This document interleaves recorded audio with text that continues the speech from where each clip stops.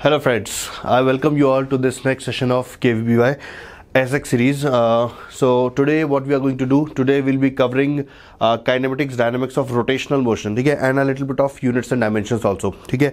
So let's get start already let's get started already because आज मैं थोड़ी ज़्यादा चीज़ें कवर करने की प्लान कर रहा हूँ। Uh, ये गाइज़ इस वीक का शेड्यूल है मैं सामने से हट जाता हूँ। You can watch this schedule right so these are the dates on which these subjects and these topics will be covered right? and this is the like schedule for the sx stream. All right? Okay. And guys uh, once again i uh, i'm willing to tell you about this group. You can become part of this group. And uh, uh, you'll find other aspirants here. You'll find teachers here, here जहाँ पे आपके doubts address हो सकते हैं so a good thing to do install this Telegram app and become a part of this group if you are not a part of this group already. All right? And make sure that you are making use of our JEE app. All right? Download this app. ठीक है and make use of this यहाँ पे आप अपने doubts वगैरह discuss कर सकते हैं and the study material that we provide that is also available on this app right guys okay so let's get started already uh, now uh, the question that you can see on screen ये questions units and dimensions का है ठीक है I'm pretty sure that students of 12th standard they are uh, good enough in dimensions so I'll take two questions on dimensions uh, this is the first one let's see what this question says uh, Stokes law you you would have studied Stokes law in your 11th standard Stokes law states that the viscous drag force F experienced by a sphere of radius A. So guys, you just have to notice what uh, A represents. A represents a radius. So we are basically interested in the dimensions of A. So dimensions of A will be the dimensions of length. All right. So moving with a uniform speed V. So we will have dimensions of speed through a fluid with coefficient of viscosity eta is given by so this expression is given to you you know uh, अगर तुमको Stokes law याद हो if you are if you remember this Stokes law you can get rid of the first three lines ठीक है this is not required ठीक है so force is given by six by eta are we so we can use this equation two find out the dimensions of eta ठीक है that is the coefficient of viscosity आगे पढ़ते हैं if this fluid is flowing through a cylindrical pipe of radius R so R represents a radius length uh, L L represents a length and a pressure difference of P. So P is representing a pressure difference here. So P will have the dimensions of pressure. ठीक है across two ends then the volume of water which flows through the pipe in time t so v represents a volume here t represents time here and this expression is given ठीक है k is given to be a dimensionless constant and we are supposed to find out the value of a b c. So if you ask me this is a very regular question of uh, dimensions. What are we supposed to do in this question? Um, i am aware of the dimension of p. Force upon area hota hai. So dimension of p uh, i think majority of you would be able to write down the dimensions of p. Dimensions of l that is l only ठीक है dimensions of eta some of you may have difficulty with dimensions of eta so you can use this relationship to get the dimensions of eta and then r is dimensions of radius v is volume t is time so i think the question is an easy one uh, i'll show you how to do this question ठीक है देखो uh, my first target would be to get the dimensions of eta all right for those of you who are not aware ठीक है to be very honest even I don't remember the dimensions of eta but I know I can calculate it as and when required so six pi eta are we this is how I start ठीक है dimensions of force I first right dimensions of force that will be M L T minus to this is dimension of force all right and then 6 pi is dimensionless so let's let's ignore 6 pi eta the dimension of eta is something that we want to calculate R will have the dimension of length and v will have the dimension of speed so i should write l t minus 1 here ठीक है इसको थोड़ा rearrange करके solve करो ठीक है इसको अगर उधर लेके जाएँ इतनी रंग बिरंगी राइटिंग नहीं करनी है या okay so this will be what इस एल को अगर मैं उधर लेके जाऊँ यहाँ पे एल है एल स्क्वायर है तो M then L minus one it will become and T minus one it is going to become so this is the dimension of eta so the first step was to figure out the dimension of eta ठीक है, अगर ये dimension तुम्हें already याद है तो you are in a better position to solve this question ठीक है you can save a lot of time ठीक है and of course you can reduce of your chances of committing errors also क्योंकि जितने हम कम कैलकुलेशन करेंगे, उतना ही एरर्स के चांस भी रिड्यूस होते हैं। So keep this in mind I'll be using this to solve the next step of the problem तो M L inverse T inverse this is the dimension of eta next देखो, जो question में given था, ठीक है? Question में जो okay given था, ठीक है? It was given I think V by T was written as k times of uh, uh, I'll have to check it guys I'll have to check it I think it was p by something I think it was p by l then eta and let, let's check it guys ठीक है मतलब गलत information के साथ solve करने का या it was P by L P by L eta and R okay मुझे पावर्स भी चेक करनी थी कि कौन सी पावर किसके ऊपर थी और right so let's continue now ठीक है So the expression was V by T equal to K times and then P by L raised to power A, okay? Then eta raised to power B and R raised to power C. I believe this was written. So let's start writing the dimension now. V is volume, okay? तो volume की dimension हो गई L cube और T की dimension नीचे T है तो ये इधर टी इनवर्स आ गया। लेफ़्ट हैंड साइड में ये आ रहा है, ठीक है? Let's write the dimension on the right hand side K is dimensionless so let's stop writing it P is pressure ठीक है? तो प्रेशर होगा फोर्स अपॉन एरिया फोर्स होता है M L T minus two ठीक है? मैं यहाँ पे लिख देता हूँ। फोर्स होता है M L T minus two इसको डिवाइड करेंगे एरिया से। एरिया होता है एल स्क्वायर तो जब इसको डिवाइड करेंगे एल स्क्वायर से तो यहाँ पे एल माइनस वन बचेगा। L divided by L square is one upon L तो ये लिख दिया मैंने, ठीक है? तो ये तो मैंने प्रेशर का लिखा था। दिस वॉज़ ओनली प्रेशर ठीक है? अब नीचे एक एल और प्रेजेंट है, ठीक है? तो यहाँ पे एक एल और लिख देते हैं, ठीक है? और या फिर हम इसको सीधा टू लिख सकते हैं और इसको मिटा सकते हैं। या, ठीक है? तो अब ये हो गया रेस्ट पावर ए ठीक है? ईटा की डायमेंशन हमने लिख ली थी एम एल माइनस वन और T minus one raised power eta, ठीक है? और आर होगा sorry not eta raised power B ठीक है? और आर होगा लेंथ ठीक है? तो ये हमने लिख लिया है। अब यहाँ से देखो पावर्स कलेक्ट करना स्टार्ट करते हैं। जैसे एम इसमें आ रहा है एम की पावर ए हो गई एम इसमें भी आ रहा है तो प्लस बी कर देते हैं, ठीक है? एम इसमें नहीं आ रहा है, ठीक है? Next let's pay attention to L या let's pay attention to L तो एल की पावर यहाँ से है माइनस टू ए ठीक है, यहाँ से है माइनस बी और right minus two A minus B and then plus C ठीक है तो ये एल की पावर हो गई. And next let's write the T so T is minus two A ठीक है, यहाँ से माइनस टू ए आ जाएगा, यहाँ से माइनस बी आ जाएगा और यहाँ से कुछ नहीं आएगा. इफ़ वी नाउ कंपेयर ठीक है, हमने लेफ़्ट हैंड साइड की डायमेंशन ऑप्टेन कर ली है, हमने राइट हैंड साइड की डायमेंशन ऑप्टेन कर ली है, अब हमें कंपेयर करना चाहिए तो ये कंपेरिजन हमें क्या बता रहा है? यहाँ लिखता हूँ मैं। ये कंपेरिजन हमें बता रहा है कि ए प्लस बी तो ज़ीरो होना चाहिए, ठीक है, और minus two A minus B plus C ये होना चाहिए थ्री के इक्वल ठीक है, और minus two A minus two A, minus B, ये होना चाहिए माइनस वन के इक्वल ठीक है? ये होना चाहिए माइनस वन के equal you can see A plus B zero minus two A, minus B plus C is three and minus two A, minus B is minus one. ठीक है? तो once we have done all this things अब हमें ये equation solve करना बाकी रह गई है। ठीक है? तो इन इक्वेशन को सॉल्व कर लेता हूँ, मैं करके बता देता हूँ। ठीक है? जैसे ए प्लस बी अगर ज़ीरो है तो मैं यहाँ से लिख सकता हूँ, इस इक्वेशन को लिख सकता हूँ, minus A then minus of A plus B equal to minus one ये तो ज़ीरो हो गया। तो ए की वैल्यू हो गई वन ठीक है? ए अगर वन हो गया तो बी की वैल्यू जो होगी, वो माइनस वन हो जानी चाहिए, क्योंकि इन दोनों का सम ज़ीरो है, ठीक है? तो ए हो गया वन बी हो गया माइनस वन अब यहाँ पे डाल देते हैं तो ये हो गया माइनस टू और ये हो गया प्लस वन तो माइनस टू और plus one will become minus one उसको इधर ले जाएँगे तो सी की वैल्यू फोर हो जानी चाहिए, ठीक है? तो यहाँ से सी की वैल्यू आ गई four so we are looking at one minus one and four. ठीक है? तो क्वेश्चन देखो सीधा साधा सा था। क्वेश्चन में ऐसा कोई कॉम्प्लिकेशन नहीं था। प्रोसीजर था, उसको फॉलो करोगे you will get the answer ठीक है? Let's check whether we have got the correct answer और not so A is one B is minus one and C is four alright guys ठीक है? So this is how we can attempt this such question ठीक है? I have one more question from dimension let's attempt this one also ठीक है? इसमें क्या कह रहा है? इसमें कह रहा है कि डायमेंशन ऑफ़ एरिया ए ठीक है? Of a black hole can be अब ये ब्लैक होल वगैरह लिखे हुए हैं ये सब uh, थोड़ी सी ना क्वेश्चन को फैंटास्टिक बनाने के लिए लिख दिया मतलब we are not concern with what a black hole is ठीक है? The dimension of an of the area A so A represents area here ठीक है? G represents the universal gravitation constant mass is M speed of light so C represent some kind of speed ठीक है? Speed of light है वो ठीक है? और ये लिखा हुआ है ठीक है? हमको रिलेट करना है। So guys again we'll do it in similar manner जैसा अभी कर रहे थे। ठीक है I start doing on this page only ठीक है तो एरिया के डायमेंशन लिख देता हूँ मैं। ये तो होगा एल स्क्वायर मैंने लेफ़्ट हैंड साइड के डायमेंशन लिख दिए हैं।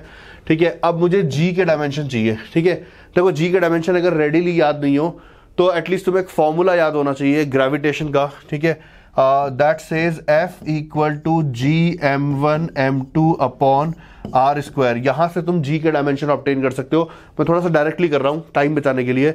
तो फोर्स हो जाएगा M L T minus two अभी मैं लिख नहीं रहा हूँ, ठीक है? यहाँ से एल स्क्वायर जाके मल्टीप्लाई होगा, ठीक है? तो एल स्क्वायर जाके मल्टीप्लाई होने का मतलब ये हो गया एल क्यूब ठीक है? और यहाँ से के जी इनवर्स से डिवाइड करना है। के जी के स्क्वायर से डिवाइड करना है, ठीक है? तो एम तो ऑलरेडी है ही। नीचे एम स्क्वायर अगर और आएगा तो एम स्क्वायर आने का मतलब यहाँ हो जाएगा माइनस वन टी जो फोर्स का था वही रहेगा, यानी कि M L T minus two होता है तो ये हो गई जी की डायमेंशन ठीक है? ये मैंने यहाँ से निकाली है, इसको मैनेज करके निकाली है so this is dimension of G now once you have dimension of G you can put the power as alpha G raised power alpha is written here then mass M represents mass yes so mass will write as M only M raised to power beta and then C C is speed so L T minus one and this entire thing raised to power gamma ठीक है सो left hand side is already simplified so we D not simplify it any further left hand right hand side let's pay attention to that so am from the first bracket we are going to get minus alpha from the second we are going to get plus beta from third there is no m in that all right so this is what we are going to get for m let's talk about l now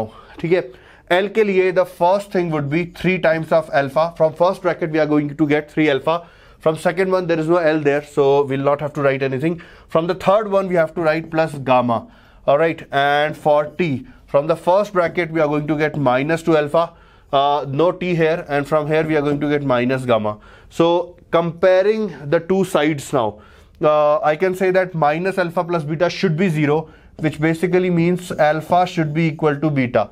All right, so पहले first of all what you can do based on this you can eliminate start eliminating the option if we can see. No all the options are having same values of alpha and beta.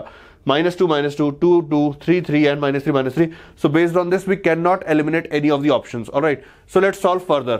Mm, the next equation is what? This one minus 2 alpha plus gamma. Okay. Is 0 so that means gamma is minus 2 times of alpha. Gamma is minus 2 times of alpha. Again uh, you can try of eliminating options here by looking at this you can straight away solve it to get the definite answer. That's your call. Uh, some of you may believe कि शायद option eliminate होकर एक ही बचे।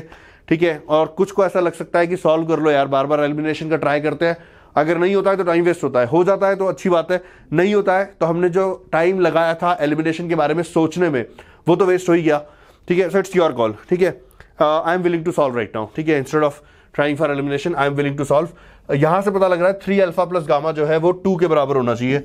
So three alpha plus gamma होना चाहिए to के equal ठीक है गामा को मैं लिख सकता हूँ minus two alpha so if I put minus two alpha here only alpha will be remaining so alpha is two if alpha is two then beta should be two ठीक है तो दिस इज़ रॉन्ग ठीक है, बस हो ही गया। ये दोनों अल्फ़ा की वैल्यू टू इसी में आ रही है। ठीक है गामा की वैल्यू माइनस फोर आनी चाहिए। इसी क्वेश्चन के हिसाब से सब सही है। So B should be the correct option right So these two questions were similar in nature. Okay, and they were based on the theory of dimensions. Okay, I hope you enjoyed these questions. Uh, I'll now move to some questions from other topics. All right, so let's see what we have in store for next question. Now, guys, uh, this is question from rotational kinematics. Let's see what the question says. Okay, question कह रहा है the wheel of radius r. So radius is given rolls to the right without slipping and has a velocity v naught. Uh, okay, of its center. The speed of the point O of the wheel at the instant represented ठीक है? तो ये wheel pure rolling कर रहा है. The wheel is under pure rolling that has been given to us and we have been found the speed of point A you can see point A there that is not on the periphery ठीक है? The idea A here is what ठीक है? हम किसी भी rotating wheel का rotating plus translating object का जो uh, उसके किसी भी पॉइंट पे स्पीड लिखते हैं तो दो इफेक्ट्स को कंसिडर करके लिखते हैं. जैसे first of all I try to write the value of omega ठीक है? ओमेगा हम लिख सकते हैं the speed of centre divided by the radius of wheel ठीक है? तो ये हो जाएगा three metre per second divided by three hundred millimetre 300 millimetre को 0.3 मीटर भी लिखा जा सकता है। So this becomes 10 radian per second ठीक है? सो ओमेगा की वैल्यू हमने वर्कआउट कर ली है। अब ए के पास जो वेलोसिटी होगी ए के पास इस डायरेक्शन में जो वेलोसिटी होगी, ये होगी omega times radius of A ठीक है? और उसके अलावा एक ट्रांसलेशनल वेलोसिटी होगी, जो कि वी नॉट के बराबर ही होगी। ठीक है मतलब रोटेशन का इंपैक्ट क्या होगा? रोटेशन की वजह से ए को एक वेलोसिटी इधर मिलेगी। मतलब ए को सेंटर से ज्वाइन करने वाली लाइन के परपेंडिकुलर एक वेलोसिटी मिलेगी। This will be omega times the radius of A and the other velocity that we should superimpose with this one ठीक है is the velocity of the centre ठीक है। तो इन दोनों का वेक्टर सम चाहिए हमें। Guys can we calculate this angle ठीक है? Well if you ask me this angle is given to be 30 so this should be 30 so this angle should be 60 degree ठीक है? So the basic question is this we have two vectors एक का magnitude है omega are है, एक का magnitude है V A और इन दोनों वेक्टर्स के बीच में एंगल है 60 डिग्री का। हमें इन दोनों वेक्टर्स का रिजल्टेंट निकालना so that is the basic question if you ask me so V A will be what okay let me first try to write the value of omega R A ठीक है? Omega is 10 radian per second R A is how much R A is okay it has okay O this is given in the diagram actually O A is 200 millimetre so 0.2 metre 0.2 metre into ten so that is two metre per second और right and V naught is already given to be three metre per second so we have two vectors now एक का magnitude है three metre per second एक का magnitude है two metre per second इन दोनों के बीच में सिक्सटी डिग्री का एंगल ठीक है? तो वी ए को हम कैसे लिखेंगे? दो वैक्टर्स को हम ऐड कैसे करते हैं? ठीक है? We write uh, square of magnitude of first one square of magnitude of the second vector plus 2 times the magnitude of first magnitude of second into cos of angle between them so cos 60 is cos 60 is half actually ठीक है बस इस calculation को पूरा कर देते हैं तो ये हाफ़ यहाँ से कैंसिल हो गया 13 प्लस सिक्स रूट नाइनटीन ठीक है root nineteen metre per second so the options given ठीक है? देखो I think 4.36 should be the closest value you can check this for your own four का स्क्वायर होता है 16 हमें 19 का रूट लेना है so something more than four ठीक है? Five can not be the answer root इसका स्क्वायर हो जाएगा 25 this is certainly not root 25 so out of the given values I think a should be the best option ठीक है? And a is in is indeed the best option. That is the correct answer, as I'll show you. Alright, so this is how we have solved this question.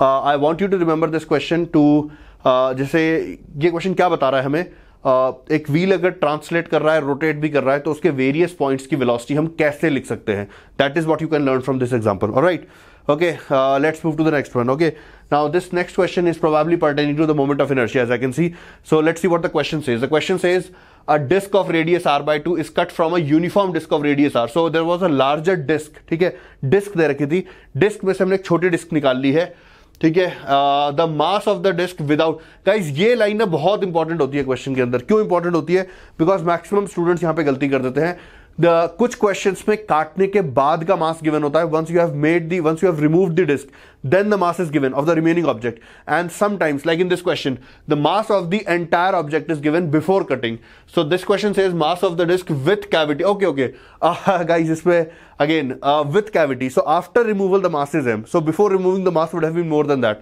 okay the moment of inertia of the disk about axis xx dash all right okay now that's an inclined axis fine ठीक है which passes through the centre O of the disk और right in the plane of the so guys the thing is given object का mass M है और given object का हमें moment of inertia workout करना है इस एक्सिस के अबाउट ठीक है? All right uh, doesn't seem to be a straightforward question first of all. Definitely not a straightforward question a good question. ठीक है let's see how we can address this question इस question को address करने के लिए first of all I tell you कि कौन कौन से रिजल्ट्स तुम्हें याद होने चाहिए इस क्वेश्चन को एड्रेस करने के लिए.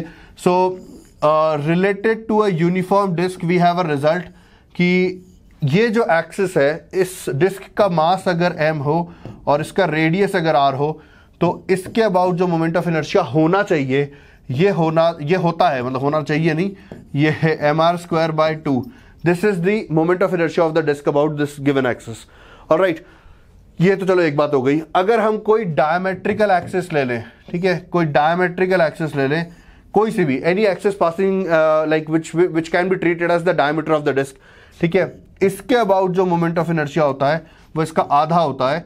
So that is M R square by four ठीक है? M is the mass of the disk and R is the radius of the disk ठीक है? I am pretty sure that you guys are aware of parallel axis theorem and perpendicular axis theorem so I not tell them ठीक है?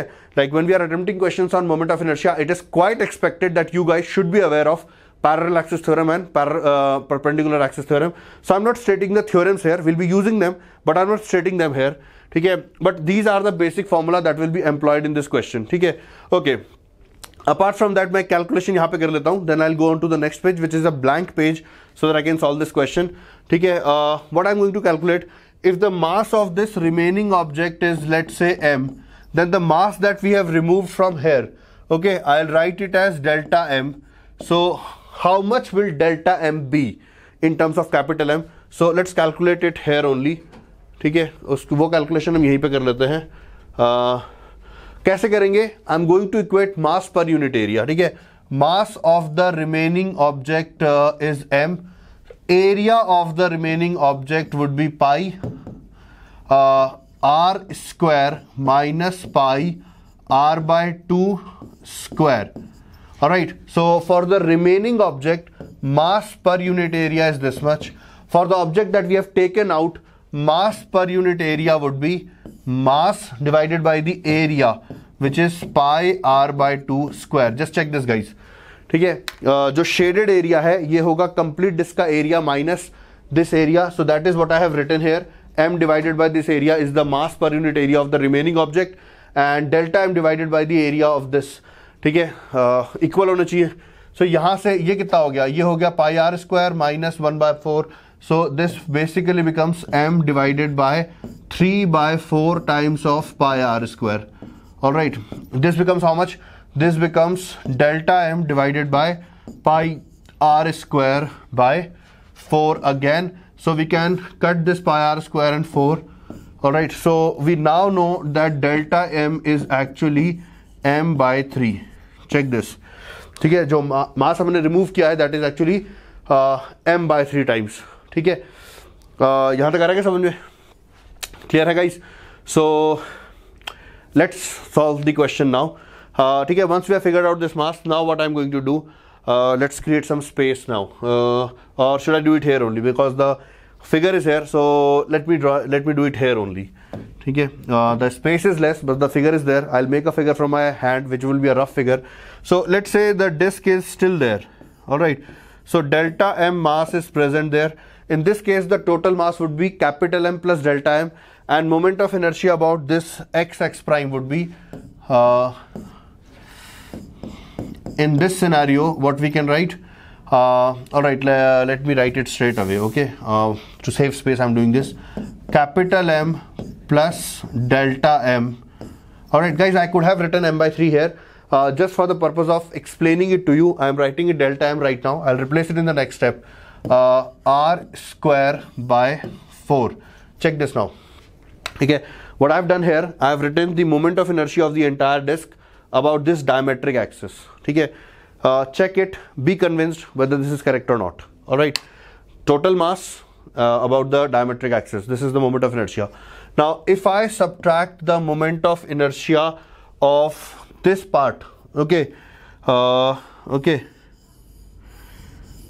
first i'll uh, about this axis i have to write moment of inertia of this part about this axis and how am I going to write that? I'm going to write the moment of inertia of this disk about this diametric axis. Then I'm going to use parallel axis theorem. So what I'm subtracting, uh, pay attention to that. I'm going to write what? Mm, delta m r by 2 whole square, okay, mass into radius square divided by 4. That gives you moment of inertia about the diametric axis. Now we'll have to use parallel axis theorem. For that I'll be needing this distance okay this distance is r by 2 this angle is 45 degree. So this distance will be r by 2 into cos 45 so r by 2 root 2 all right so I should be writing plus delta m into r by 2 root 2 square. Check this. All right this should give us the answer. okay this should give us the answer. Now let me finish the calculation. okay I'm, I'll be doing it very carefully. Any error will lead to a wrong answer. So this number is 4m by 3. m plus m by 3 so this is 4m by 3 divided by m. Okay? So by 3 will be left. All right so if I take out mr square as common because I can see that mr square will be present everywhere. So this term becomes 4m by 3 by 4 so by 3 is left. So 1 by 3 from this term. Okay now from this term what are we going to get from here? Uh, it will be r square by 4 a 4 uh, another 4 is present there. So 16 will be in the denominator and this delta m will be m by 3 so 16 into 3 will be 48 okay so i'm expecting 1 by 48 here. Okay 1 by 48 mr square will be taken out. Okay what can we expect from this third term? Again uh, square of this will be 8 square of this will be 8 and 3 will be here. Okay so we can expect by 24 all right so let's finish the calculation now. It will be mr square then uh, I can take 48 as the LCM if 48 as the 8 uh, is the LCM we are going to get a 16 here. 16 minus 1 minus 2 16 minus 1 minus 2 so that's 13 by 48 do we have an option like that? 13 by 48 mr square. C option should be the correct one. All right. Uh, let's check the answer. C answer is the correct one. All right guys. So i hope you like this question. It was a good question actually. A uh, lot of uh, steps were involved in which error could be committed. Like uh, finding out delta m that was a critical step then writing the moment of inertia carefully all right? Uh, especially while using the parallel axis theorem. You have to be very careful that you first write the moment of inertia of the part removed about its own diameter and then you use parallel axis theorem. All right okay guys uh, let's move to another question now. Let's move to another question. Now this question says what? Let's see. A weightless rigid rod AB of length L. All right so this AB is a rod of length L and it is given to be weightless and rigid also okay carries two equal masses M and M secured at N and other at the mid as shown in the figure. The rod can rotate in the vertical plane about the hinge at O. Minimum horizontal velocity required to be imparted to the end B. Alright, so guys, uh, the question is like this. Masses are present at B and C and we have to impart some velocity to B so that the uh, rod is able to finish the circle. Uh, don't seem like uh, a very complicated question here. Why? See, uh, a rigid rod is given. So if I think about the starting situation, we will impart some velocity, let's say V naught to B. So I can say that half of that velocity will come to C also. Alright, why? Because this is situated at the midpoint of the hinge and end B. So this is hinge, this is hinge. Uh, now once this rod comes in the vertical position like this, if this rod acquires a vertical position and B and C are almost at rest also. Then also we will say we can say that the motion the circular motion will be completed. Like we have to make sure that we are imparting sufficient kinetic energy in this figure so that when it becomes put like it becomes zero only when the rod has become horizontal uh, vertical in the upward direction. So um, if i if you ask me the kinetic energy that we have given is half m v naught square. That's the kinetic energy that c is going to acquire uh, actually v naught by 2 it should be. I have i spoken uh, v naught by 2 but probably I forgot to write it. Okay so that's the kinetic energy of C. Kinetic energy of B will be half m V naught square. This will be the kinetic energy of B. Okay now this should be equal to the increase in potential energy. So the height of B has changed by L and the height of C has changed by no the height of B has changed by 2L L. This and L this. So height of B has changed by 2L height of C has changed by L so I should be writing m into g into 2l. This is the increase in potential energy of end B, of particle at B. And then I should be writing as mg into L. This is the increase in gravitational potential energy of the particle at C. Alright, okay, so let's solve this. So this becomes what? This is 1 by 4, this is 1. So if I solve it here, okay 1 by 4 plus 1 is 5 by 4 oh, just let me check. Yeah it's 5 by 4 times the kinetic energy. Uh, that is half m v naught square and this should be same as 3 mgl so m gets cancelled. So v naught should be how much? Uh, well it should be 8 into 3 24 by 5 root of 24 by 5 gl so c option seems to be the correct one. All right guys uh, let's check the answer. It was a simple question based on the work energy theorem uh, c option is indeed the correct one. All right guys. Okay so i hope uh, you have understood this question. Uh, let's move on to the next one. Let's move on to the next one. All right guys uh, before i move to the next uh, question actually uh, i have a situation here that i want to present before you. Through this situation i want to tell you about certain concepts that will enable you to attack an entire category of problems all right? So my aim here is not to give you one example or two example but my aim here is to give you the concept that can enable you to attack an entire uh, category. So uh, you know not one two example but a collection of problems is what i'm targeting right now. All right so let, us try to understand this situation. Uh, since the time is uh, less i'll try to be a little bit quicker. All right i hope you get this. So what is the challenge right now? What is the challenge that you can see? So there is a inclined plane. I hope it's pretty clear from the figure. And on the inclined plane we are releasing three objects. The figure shows three objects. We'll talk about four objects. Uh, one can be considered as a disk it's an annular disk actually. Uh, uh, annular ring actually. This, this is a ring a disk a sphere. So we are releasing them together. And we are wondering that which one will reach bottom first which one will reach the bottom with highest speed highest angular speed maximum kinetic energy and uh, blah blah blah. Like we can talk about a lot of other things. All right. So guys how to deal with these questions? Let's try to figure that out. I'm trying to address these questions right now. So first of all in these questions it is very important to keep in mind whether the given surface has zero friction or whether the given surface has high friction. What, what, do I mean by high friction? You can say by high friction, I mean that the friction is sufficiently high that we can uh, ignore the possibility of slipping. Okay, so I'll talk about a third case also when friction fails to prevent the slipping. Okay, but for understanding the third case, uh, we have to first look at these two cases. If we are pretty good with these two cases, then the third case will become easy to understand. So we have released the object and we have been asked which object is going to reach the bottom first and which object is going to have a higher linear speed which object is going to have a higher angular speed. Okay so to address this question the first thing that should come to your mind is whether the given inclined plane is a frictionless one or whether it is a very rough inclined plane because the answers will be different in the two cases. So ask yourself these two questions first.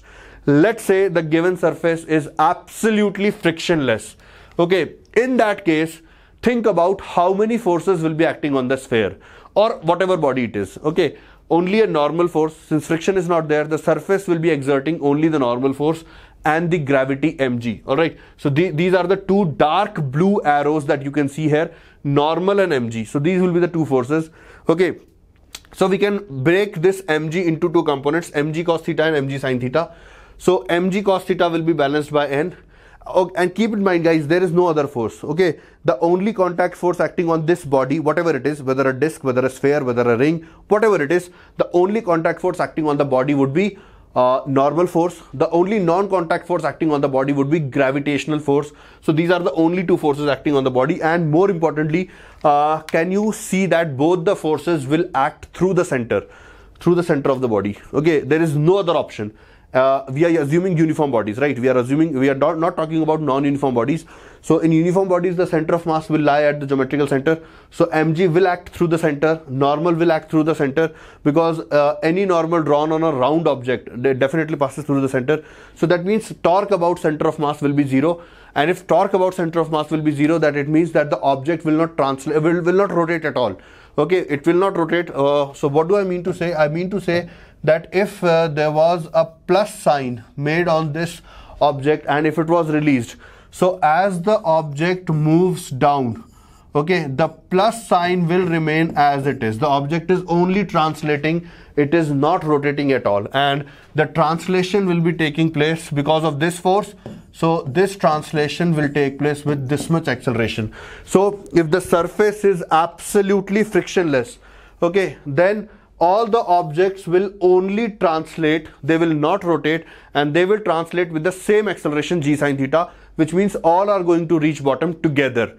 All right let's see what is written there. So angular object angular acceleration of the object will be zero. Linear acceleration will be equal to g sine theta which is common for all. So all the objects are going to reach bottom together. They are all going to have the same velocity or the same speed when they reach bottom. So if they also have the same mass then they are uh, going to have same kinetic energy which will only be translational in nature no rotational energy. Okay and this is the case when the inclined plane when the given inclined plane is absolutely smooth. Okay so this is one case. Uh, let's talk about the second case. Motion on a very rough inclined plane. Okay so when i say very rough it means that uh, slipping is out of question now. So if we are talking about how many forces are acting on the body now we have to talk about three forces normal and mg they were there earlier also. Now a friction will also be there. All right so let's say friction acts in the upward direction. So uh, since friction is also there we have uh, we have to make sure that uh, like the torque will become non-zero now. N is not producing any torque. Mg is not producing any torque about the center of mass. But friction will start producing a torque and this torque will be clockwise in this figure. Okay uh, just a minute guys so this figure uh, clockwise will be there. So there will be some angular acceleration also. All right so the equations that we now write okay i have again resolved mg into two components. The equation that we now, now write is f into r is i alpha. All right this i is about the center of mass. Okay. mg sine theta minus f is m alpha. I hope you understand this. The net downward force is mg sine theta. So mg sine theta minus f is this. And since slipping is not taking place so alpha can be written as uh, uh, a can be written as alpha r. So these are the three equations the three unknowns that we have they are a alpha and f. Solving these three equations we get a as g sine theta upon 1 plus i by mr square. Okay? 1 plus. So this is the value of acceleration that we are getting.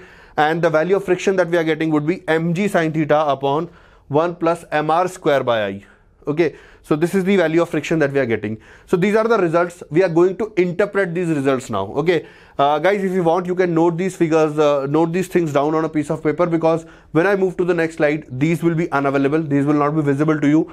So whatever i'm explaining on the next slide you may not be able to understand that unless you have these things readily available with you. All right so you can just write them down on a piece of paper. Okay so these are the expression for acceleration and friction. So now let's try to understand something. Uh, we have obtained some value of friction okay? And it tells us that that much friction should be acting on the body. Now whether it can actually act on the body depends on how much friction is available. The available value of friction is basically the limiting value. Like friction can go up to the limiting value but not beyond that. So the available value is limiting. We call it limiting value. This is the value of friction that should be acting on the round object so this value should be less than mu n uh, because the available value, the required value, this f is the required value, this should be acting on the body. This is the available value. So the required value should be less than the available value. Only then we can say that slipping is not taking place. So this should be less than this, which means uh, n can be written as mg cos theta. So this means that mu should be more than this value. This mu should be more than this value. Now, if I take four objects, okay, uniform ring, uniform disk, uniform hollow sphere, uniform solid sphere, the moment of inertia about diameter they are mentioned here. Uh, i hope like uh, you are expected to be aware of these expressions okay? If not then guys please revise rotation. You are expected to be aware of these. So if i start putting these numbers here for example uh, in the expression for acceleration if i start substituting the value of i i'll move back to show you the expression for acceleration. This was it okay so if i start putting the value of acceleration here the values that we are going to get would be g sine theta by 2 2g sine theta by 3 3g sine theta by 5 and 5g sine theta by 7 all right. And similarly by putting the value the, these values here okay the value of mu that you're going to get are these. Okay. So what what is uh, all these things tell us? First thing note that the acceleration is now different. Unlike the previous case which previous case unlike the case of frictionless surface unlike the case of frictionless surface when the accelerations were constant this time the accelerations are different. And you can see that auto like all are having different value. I hope you can arrange them in the increasing order. So when you arrange them in increasing order whichever object will have largest acceleration will reach the bottom at uh, quickest in the in the least time. All right. So out of these values which is largest? I think 5g sine theta by 7 this is the largest one. This is more than 0.7 this is 0.6 this is 0.66 this is 0.5 so this is more than 0.7 so this is the having the largest acceleration. So this will be the first one to reach the bottom. All right. And uh, the rest of the order i think you can take care of that. Apart from this this value tells us that the minimum friction coefficient required by the objects all right for for them to enable pure rolling on the inclined surface.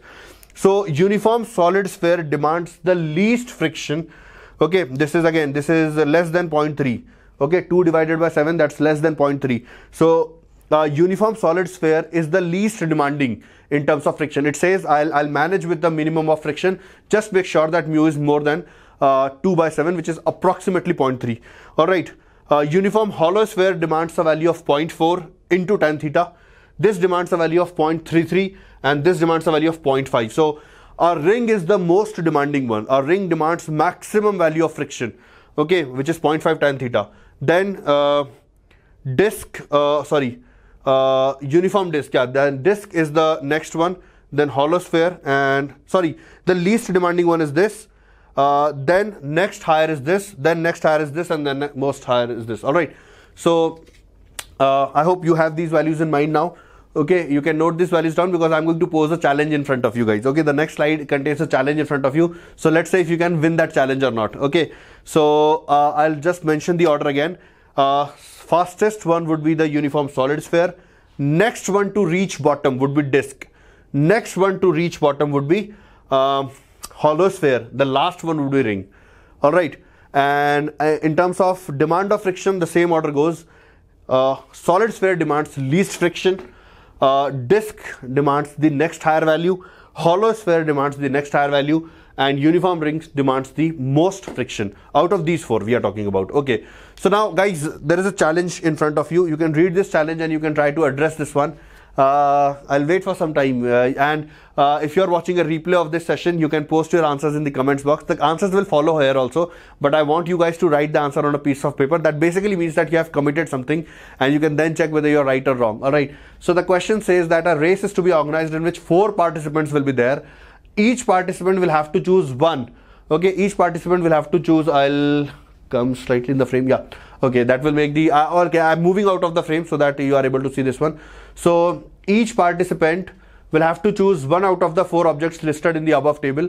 The objects will then be released from the top of a very rough inclined plane. So very rough inclined planes means uh, slipping will not take place. All right. And whichever object takes least time to travel down the inclined plane will be declared the winner. So the first object to reach bottom will be declared the winner. And if you are to pick, uh, if you are given the first choice, okay, which object are you going to choose to make sure that you can beat the other four?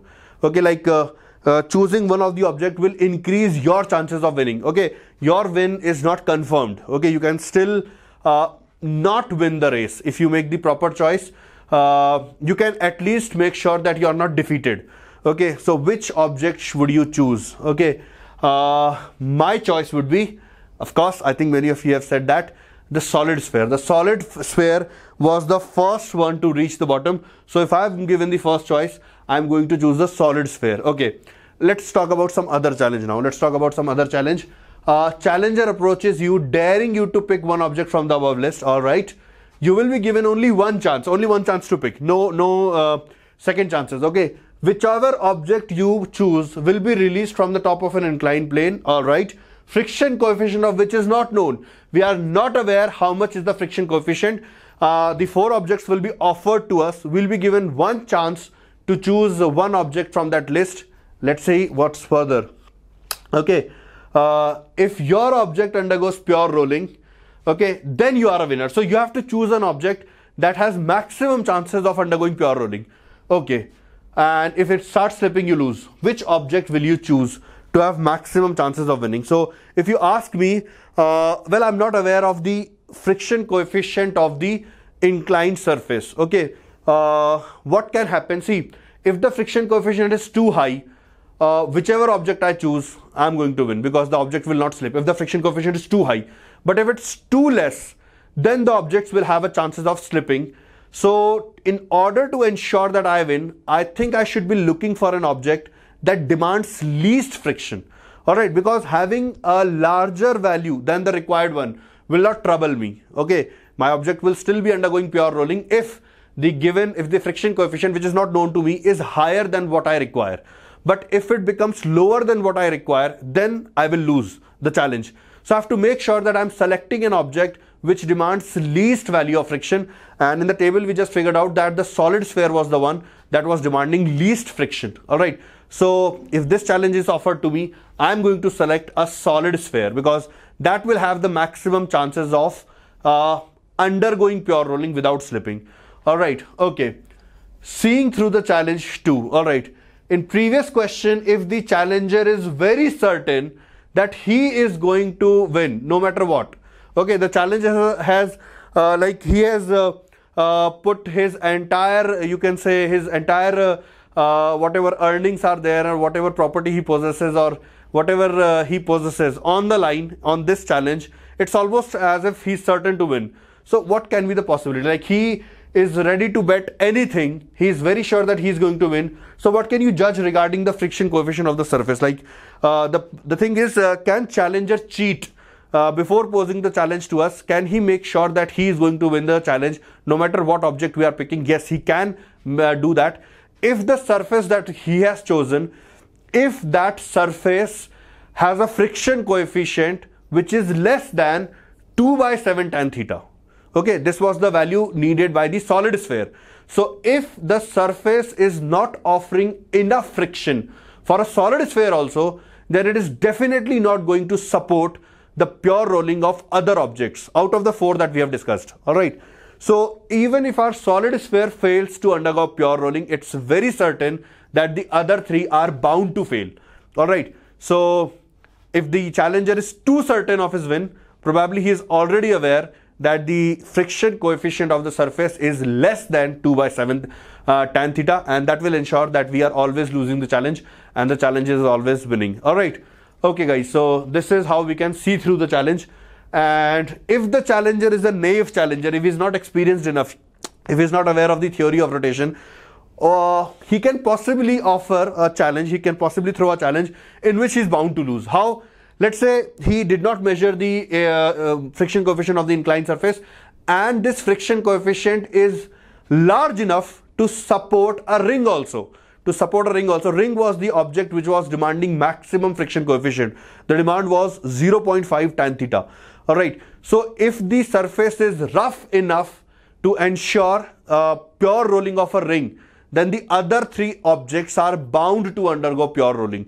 All right. So if the friction coefficient is more than 0.5 tan theta no matter which object you pick you are going to win. All right. So that would be a naive challenger. That would be an inexperienced challenger because he is going to lose. All right guys. Okay. And how what would be a fair challenge? What would be a fair challenge? See we are being offered four objects out of which we have to choose one. But if we say that a fair challenge would be the one in which there are 50% chances of our winning of my winning and there are 50% chances of the other person winning. See there are two uh, there are two uh, contestants. So a fair game would give equal chance uh, for both to win.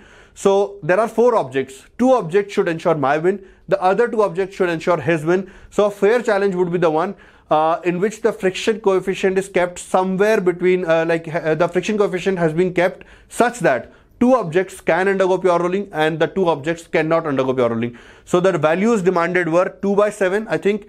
Uh, the other demand was uh, 2 by 5 that is 0.4 one of the demand was 0.3 i'll write it actually. Uh, doing it orally may not explain it further. The demands that i can recall from that table they were 2 by 7 tan theta the next higher demand the next higher demand was 1 by 3 tan theta i believe 0.33 i remember. The next higher demand was 0.4 which was 2 by 5 tan theta. All right. And the highest demand was from ring. That was 0.5 tan theta. All right. So if we choose a value of friction coefficient which lies somewhere between these two value all right then we would say that the game is fair. If we choose a sphere or probably this was for disk I believe. So if we choose a sphere or a disk then we will win. And if we have chosen uh, this was for hollow sphere I believe. A hollow sphere or a ring then we are going to lose. Okay uh, let's check these values once. Let's check these values once because I'm not sure whether I remember them correctly or not. So yes for hollow sphere it was 2 by 5 for disk it was 2 1 by 3 yes so correct. All right so that will give us a fair challenge. That is that is going to give us a fair challenge. All right. Out of the four objects, two will ensure that I win. Two will object ensure that the other the challenger wins. So that would be a fair challenge. All right, guys. Okay. So these are the answers to the questions that I have uh, posted here. You can watch them uh, in the replay. You can watch them. I'm moving on to the next slide. So this is the answer five. Okay. Uh, yeah. all right guys so the third case. In third case if friction fails okay if friction fails to ensure pure rolling then the object will slide down with some acceleration and this acceleration will be given by g sine theta minus mu g cos theta. So all will reach the bottom at the same time because now acceleration of all is same. Since it is uh, slipping now so we cannot use a equal to alpha r. So their alpha will be different but their a will be same so they are going to reach bottom at the same time but with different angular velocities.